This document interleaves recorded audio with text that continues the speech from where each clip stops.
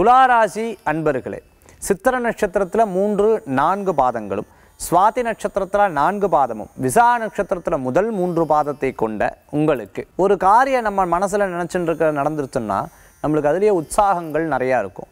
இந்த காரியம் எனக்கு ஜெயித்திருத்து இனி அடுத்தடுத்த காரியம் நான் நினச்சா நடந்துருங்கிற மாதிரி ஒவ்வொரு விஷயங்களும் ஒன்று வெற்றி பெற்ற முதல் அதுக்கு அடுத்தடுத்த நிலைக்கு வெற்றிகள் குவிந்து வரும்னு சொல்கிற மாதிரி அடுத்தடுத்த நிலைகள் லாபத்தை கூடி வரும்.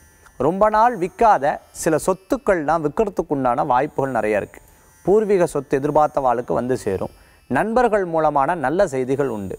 வெளியூர் பிரயாணம் உங்கள் தொழில் ரீதியாகவோ அல்லது தெரிந்தவர்களை பார்க்கறதுக்காகவோ வெளிநாடு வெளியூர் பிரயாணங்கள் போகிறதுக்கு உண்டான வாய்ப்புகள் இருக்குது அல்லது பிரயாணத்தை பற்றி மனசில் தோன்றி அதற்குண்டான முயற்சிகளாவது எடுக்கக்கூடிய வாய்ப்புகள் உண்டு.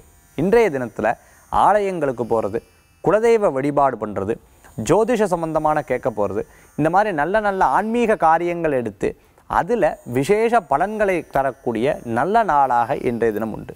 இன்றைய தினத்தில் பெற்ற தாய் தந்தையார் அவர்களுக்கு தேவையான விஷயங்களுக்கு வாங்கி தந்து அவர்கள் மனசு சந்தோஷப்படும் போது அதை பார்த்து நீங்கள் திருப்தி படுறதுக்கு உண்டான நாளாக இன்றைய தினம் மாறும்.